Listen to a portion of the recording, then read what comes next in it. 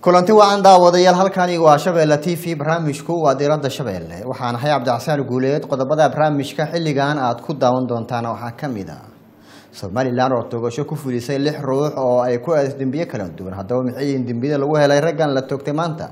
Barnaamijka idinkugu soo gudbin doonaa. Sidoo kale waxaad barnaamijkeena aad ku daawan doontaan.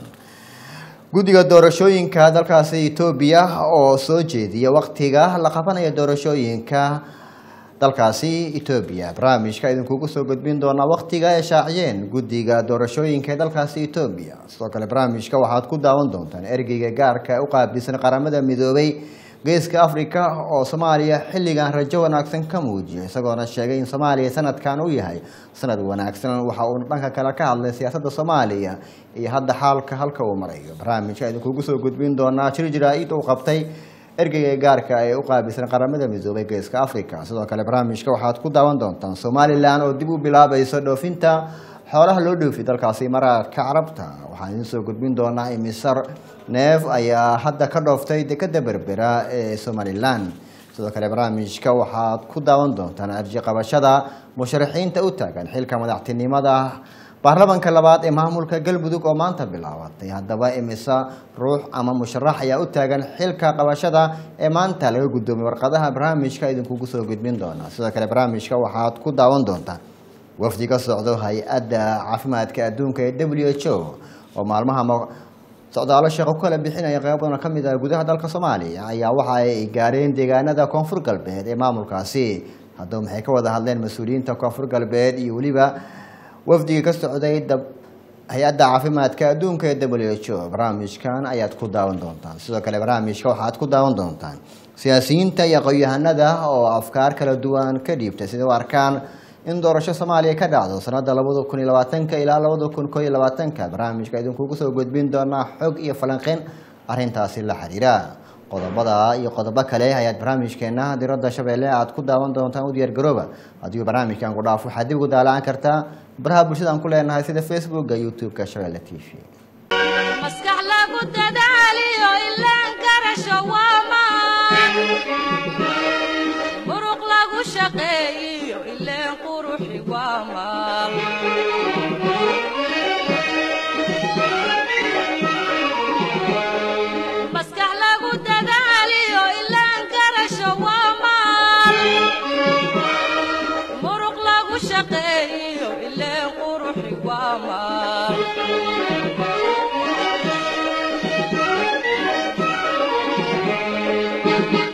waa hagaageen daawadayaal aan ku bilaabay sida hordhaca barnaamijkeena aad ku daawaneyseenba somalilan ayaa maanta waxay dil toogashaha ku fidhisay lix ruux oo ay sheegtay inay galeen dembiye kala duwan somalilan ayaa maanta waxay xukun dil toogashaha ku fidhisay lix ruux oo ka soo kala jeeda deegaano kala duwan kuwaas oo horey maxkamadda somalilan ay ku rideen xukuno dil toogasho ah.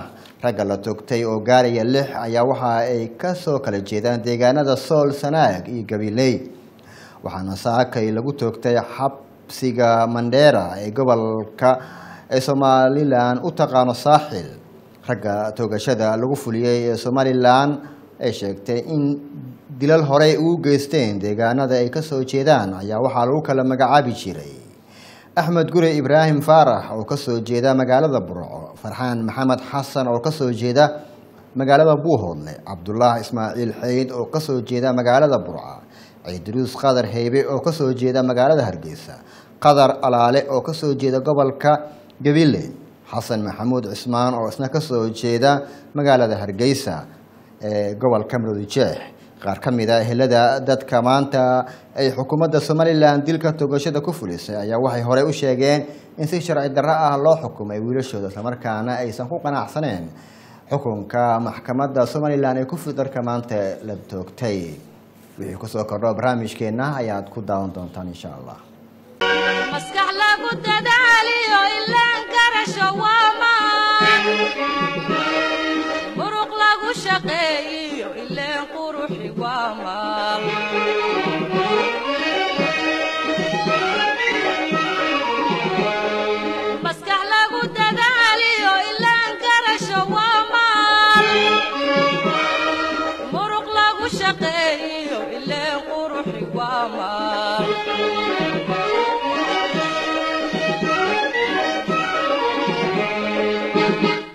waxaad daawanaysaan barnaamijka diradda shabeelle.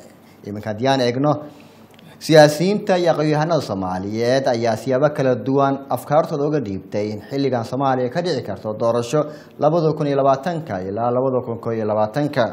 Soomaaliya waxaa la filayaa in sanadka labada kun iyo labaatanka ilaa labada kun koo iyo labaatanka in lagu qabto doorasho hal qof hal cod ah taasi oo wax badan ka bedeleysa rajada iyo horumarka ummadda soomaaliyeed haddaba si aan wax badan uga ogaano ayaan waxaan la kulanay aqoon-yahano soomaaliyeed waxaana ka mid ah doctor xasan sheikh oo ka mid ah aqoon-yahanada soomaaliyeed ee ku nool muqdisho waxa uuna ka hadlayaa xilliga in soomaaliya ay ka dhici karto doorasho qof iyo cod ah iyo waxyaabaha u suurtagelin kara isagoona tilmaamay in xilligan aysan habbooneen in soomaaliya doorasho ka dhacda islamarkaan aysan u diyaarsaneen wax badana looga baahan yahay.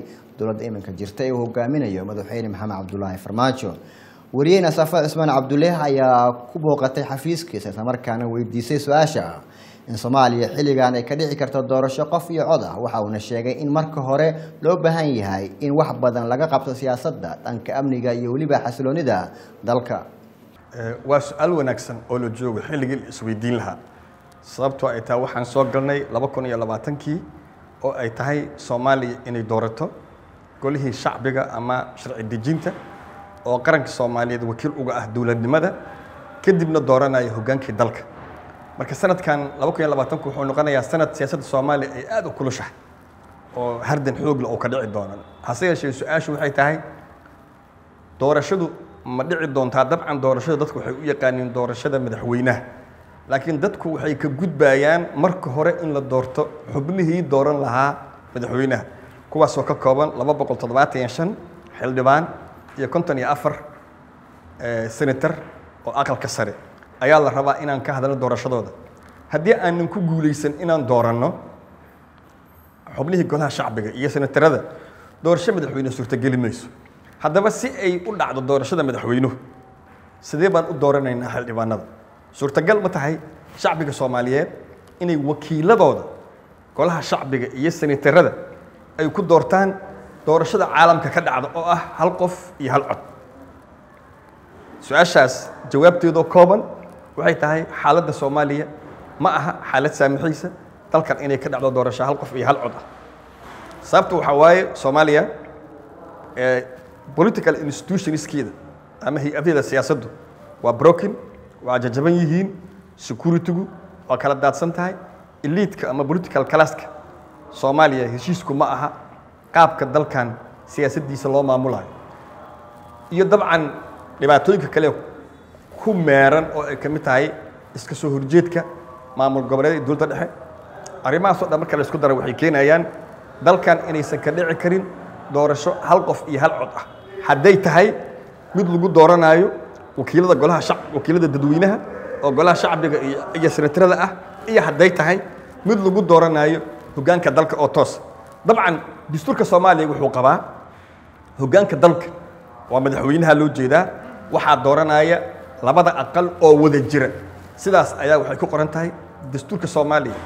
Sheeko waa jirtaa oo la leeyahay hoggaanka dalku wuxuu rabaa shacbigu inay doortaan si toos ah. Taasi laakiin waxay ka soo horjeedaa dastuurka sharciga hadda dhowaan uu baasgareeyey ama uu gudbiyey. Golaha shacbiga oo hadda hoos yaalla ama ag yaalla aqalka senataradani sidaas ma qabo? Oo wuxuu qabaa in la soo doorto golaha wakiilada dadweynaha oo ah golaha shacbiga iyo senatarada oo wakiilo ka ah maamul goboleedyada. Laakiin ayaga laftigooda saa loo soo doorana waxay ila tahay aniga sida ugu fiican ee dalkan doorasho uga dhici karto. Waa sida uu sheegay madaxweyne lafta gareen oo koonfur galbeed oo uu dhahay doorashadii laba kun lix iyo tobankii toddoba tobankii oo waxoogaa la qurxiyo oo waxoogaa lagu daro. Tusaale ahaan in laga shaqeeyo sidii loo yareyn lahaa laaluushka iyo kala iibsashada xildhibaannimada oo waxaan ognahay sanadadii la soo dhaafay ama labaatankii sano la soo dhaafay xildhibaanada la sameynayay inkastoo tii koobaad oo carta aysan lacag ahayn laakiin wixii ka dambeeyey tii kenya lagu sameeyey imbagati tii jabuuti oo isku darka labadii baarlamaan ahayd laba kun labayo tobankii iyo toddoba toban sideed tobankii faraha ka baxday waxay ahayd kala gadasho siyaasadeed oo cad oo sida riyaha iyo orgida suuqa loogu iibiyey ayaa suuqa loogu iibinayey kuraasta xildhibaanada kursi saas lagu soo iibiyey oo suuqa laga soo iibiyey oo oda dhaqameed iyo beel iyo jifo iyo qashan iyo qurun laga soo iibiyana dowlad iyo qaran laguma dhiso. Haddii ay dhacdo in la soo iibiyo kuraastana waxa hadda dhashay unbay dhalaysaa. Saas darteed waxaa la rabaa in la keeno xal kaleeto oo suurtagal ah oo wax lagu suurtogeli karo oo lagu yareyn karo kuraasta in lagu kala iibsado si ay suurtagal u noqoto inay golaha shacbiga soo galaan. Dad aan lacag haysan laakiin aqoonna leh damiir bini aadami iyo dareenna leh dowladnimona ka shaqeeya oo siyaasadda soomaaliya oo kale ganacsiga sidii biriiska iyo sokorta loo iibinayo aan ka baxno. Tusaale ahaan one way oo another waxay tahay oo la samayn kara waxay tahay in numberka oo kontiga kowda ahayd la gaarsiiyo number ay suurtagal tahay inaan la siin laaluush. Tusaale ahaan shan boqol oo qof kun haddaan gaarsiino way adkaanaysaa nimanka siyaasadda iibsada inay iibsadaan.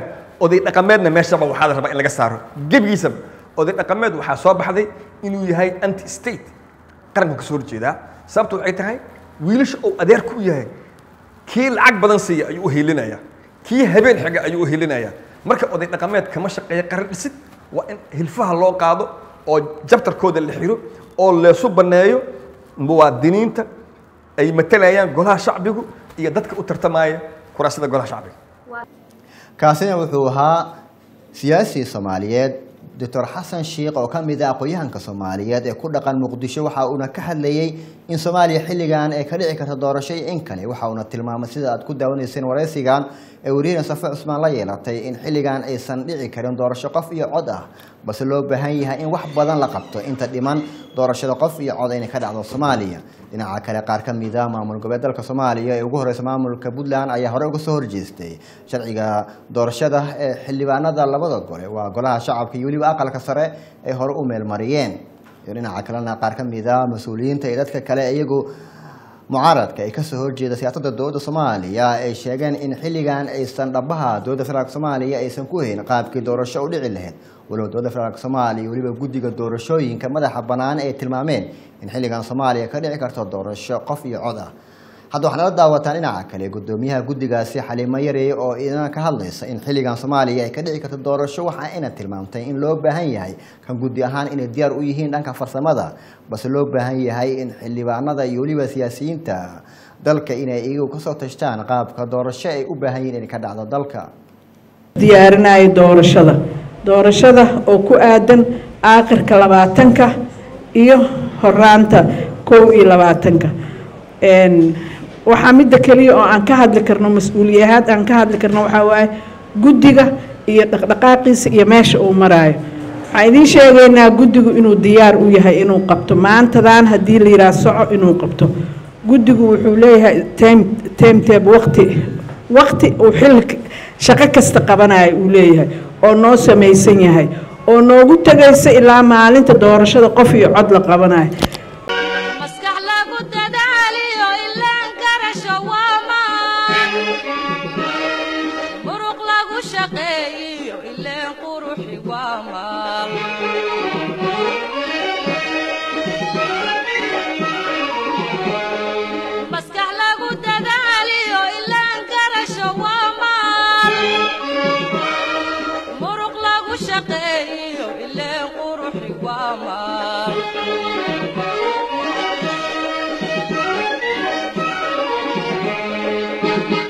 weli waxaad daawanaysaan barnaamijkeena diradda shabeelle iminka haddiyaan eegno guddiga doorashooyinka ee baarlamaanka maamulkaasi puntland ayaa waxa ay maanta tilmaameen inay ka qabteen musharaxiin u taagan guddoomiyaha baarlamaanka labaad ee maamulkaasi galmudugga guddiga doorashada guddoonka baarlamaanka dowlad goboleedka galmudug ayaa maanta ka guddoomay musharaxiinta guddoonka baarlamaanka labaad araajida iyo taarnololeedkooda guddiga ayaa waxay araajida iyo taariikhdooda ay kala wareegeen xildhibaan maxamed nuur gacal xildhibaan cabdinaasir aadan cusmaan iyo weliba cabdulaahi axmed calosow oo isna xildhibaan ka tirsan baarlamaanka labaad ee maamulkaasi galmudug oo isku soo sharaxay xilka guddoomiyaha baarlamaanka ee galmudug geesa kale waxaa araajida iyo taariikh nololeedkooda lagala wareegay maxamed sheekh axmed maalin oo u tartamaya guddoomiye ku-xigeenka labaad ee baarlamaanka galmudug iyo xubno kale. Guddiga doorashada guddoonka baarlamaanka galmudug ayaa shalay oo talaado ah. Waxa ay soo saareen shuruudda iyo habraaca laga doonaya musharaxiinta u taagan qabashada xilka guddoomiyaha baarlamaanka labaad ee maamulkaasi galmudug iyadoon la filaya in marka doorashada guddoonka baarlamaanka ay dhammaato in la gudagalo doorashada madaxweynaha maamulkaasi galmudugga wixii ku soo kordho arrintan waxaad ku daawan doontaan wararkeena iyo barnaamijyadeena soo aadan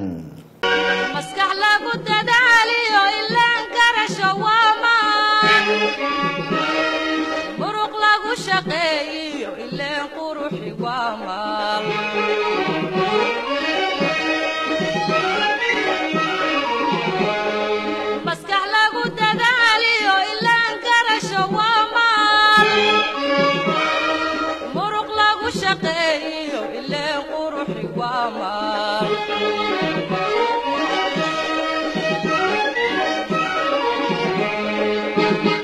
waagaaken daawadayaal weli waxaad daawanaysaan barnaamijka diradda shabeelle. Qeybihiisa dhex ayaan ku guda jirnaaye. Iminkan baydhabo wafdiga ka socda hay'adda caafimaadka adduunka ee w h o oo maalmahanba socdaal shaqo ku jira gudaha dalka soomaaliya ayaa waxa ay kulamo la qaateen mas'uuliyiinta maamulka koonfur galbeed maanta waxaana soo booqday wafdi uu hogaaminayo ku-xigeenka regional directorka w h o hay'adda caafimaadka adduunka iyo polio officer oo doctor malik lalahay waxayna waxayna booqdeen booqashadooda koowaad waxay ahayd xarumaha caafimaadka inay soo booqdaan kadibna ay la kulmaan madaxweynaha ee ay kaga hadlaan baahiyada ay qabaan south west state. Waxaan ku horumarnay xarunta caafimaadka oo m c h ka la dhaho horseed. Horseed waxay kala kulmeen baahiyo caafimaad fara badan waxayna ballan qaadeen inay buuxin doonaan caafimaadkaas hoos u dhaca uu ka taagan yahay. Waxaan u gudubnay isbitaalka weyn ee bio regional hospital. Bio regional hospital waxay booqdeen qeybta ilmaha iyo qeybta bukaan jiifka ilmaha iyo qeybta bukaan socodka ilmaha. Waxayna booqdeen sidoo kale qeybta qaliinka ee isbitaalka. Waxay kaloo booqdeen coljanka isbitaalka. Waxay kaloo booqdeen qeybta nafaqa quudinta isbitaalka. Ugu dambeyn waxaan ku soo khatinnay qeybta i c u loo yaqaano oo dadka marka xaalad deg deg ay ku jiraan lagu caafimaadkooda lagu fiiriyo. Baahiyo aada u ballaarana ka jira isbitaalka ma dhammaystirno sarfaceka isbitaalka uu qabanayo laakiin waxay noo ballan qaadeen inay buuxin doonaan baahiyaha ka taagan caafimaadka isbitaalka guud ahaan isbitaalada oo referalka ah ee gobollada koonfur galbeed oo dhan.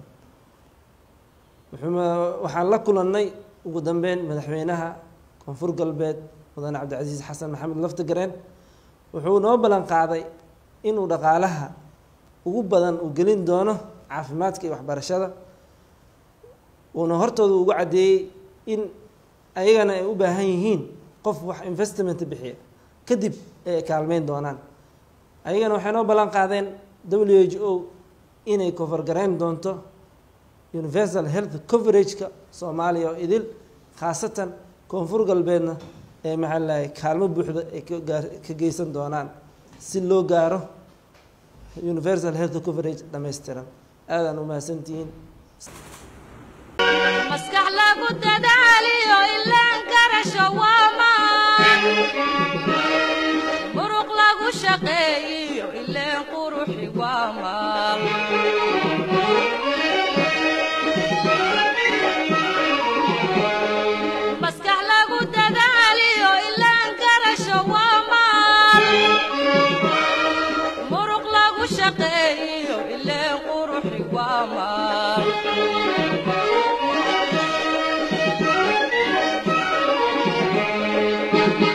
waa hagaageen daawadayaal weli waxaad daawanaysaan barnaamijka diradda shabeelle iminka haddii aan eegno guddiga doorashada etoobiya ayaa waxa uu ku dhawaaqay xilliga rasmiga ee la qabanayo doorashada madaxtinimo ee dalkaasi etoobiya guddiga doorashada dalka etoobiya ayaa soo jeediyay in lix labaatanka bisha agosto ee sanadkan la qaban doono doorashada guud ee la filay in dalkaasi ka dhacdo waxaa sidoo kale guddiga uu soo saaray jadwalka doorashada oo qabyo ah kaas oo muujinaya in toddobada bisha abriil ee bilaabanayso xilliga la diiwaangelinayo codbixiyaasha. Waxaa jira baaqyo ka soo baxaya qaar ka mid ah xisbiyada siyaasadeed ee dalka etoobiya kuwaas oo ku baaqaya in dib loo dhigo doorashada ilaa sanadka dambe. Doorashada etoobiya ayaa shan sano hal mar la qabtaa balse ra'isul wasaaraha abiy axmed ayaa dhowaan sheegay inay muhiim tahay in doorashada la qabto xilliga la qorsheeyey iyadoon la filaya in doorashooyinka deegaanada hoose sida xildhibaanada iyo weliba golaha wakiilada ee shacabka maadaama dalka etoobiya uu yahay dal federaal ah in la qabto doorashadaasi dhinaca kalena dowlad deegaanka soomaliya etoobiya ayaa la filayaa inay noqoto meelaha sida aadka loogu loolamo maadaama hadda isbeddel uu ka muuqdo. Weli waxaad daawanaysaan barnaamijka diradda shabeelle. Qodobo muhiim ah ay noo soo socday ka mid yihiin. Ergeyga gaarka ah ee qaramada midoobe u qaabilsan geeska africa oo booqasho ku yimid soomaaliya ayaa waxa uu rajo wanaagsan ka muujiyey xilligan in soomaaliya ay dhabihii nabadda hore u qaaday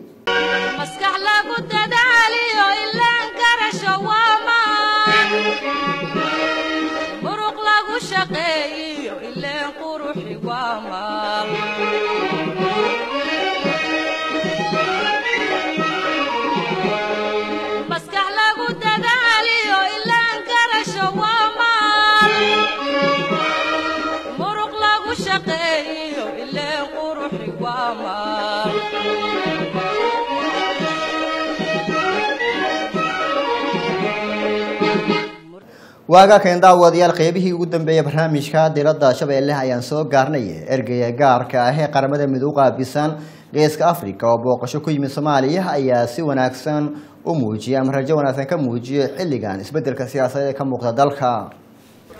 Ergeyga ugu sarreeya qaramada midoobay geeska africa ayaa booqday soomaaliya isagoo rajo ka muujiyay horumarka dalka maadaama ay soomaaliya sanadkan muhiim u tahay labada kun iyo labaatanka sarkaalka u n-ka ayaa labadii maalmood ee la soo dhaafay ku sugnaa caasimadda soomaaliya muqdisho halkaas oo kula kulmay wakiilo kala duwan oo heer qaran iyo kuwo heer caalami ah.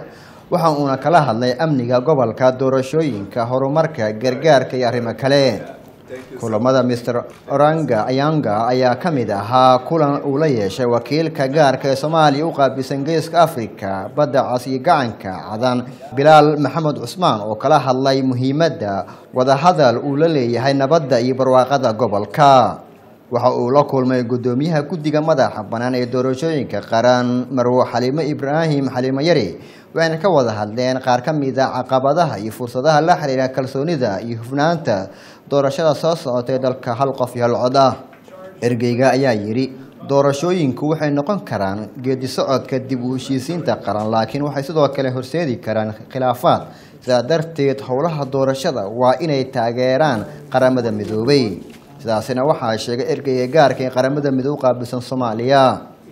Uh, in uh, as the country slowly prepares and uh, you know will be engaging in a mr onanga oyanga ayaa waxaa sidoo kale uu ka hadlay wakiilo ka socday ururada bulshada rayidka ee soomaaliya isagoona tilmaamay muhiimadda ay leedahay ka qaybgalka siyaasadda ee loo dhan yahay in doorka macnaha leh ee haweenka iyo dhallinyaradu ay ka ciyaarayaan hawshani.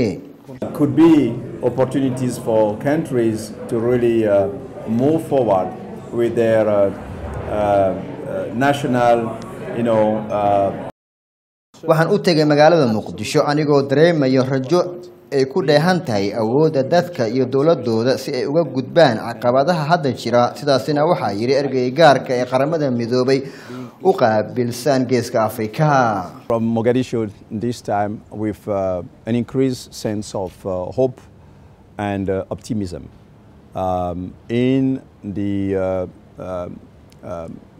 capacities of um, the Somali people and government uh, to overcome the current challenges uh, they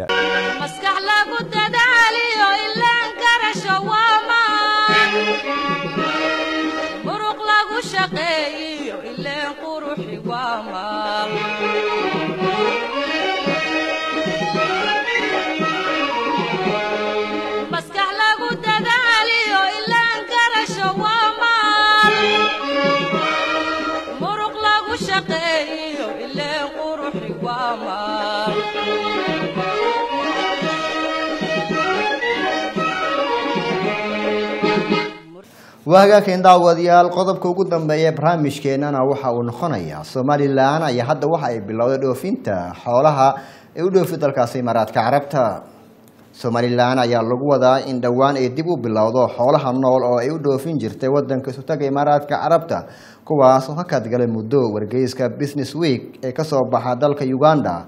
Ayaa qoray in dhowaan lagu wado in markab ay saaran yihiin tiro ka badan shan kun oo ari ka amabaxo dekeda magaalada berbere somalilan imaaraadka carabta ayaa hore u dejiyey in somalilan xoolo looga soo dhoofay hase yeeshee tallaabadan ay ku timid kadib markii madaxweynaha somalilan muuse biixi uu wadahadalo la yeeshay hogaanka imaaraadka carabta. Intii lagu guda jiray booqashadii bishii abril ee la soo dhaafay uu ku tegay dalkaasi.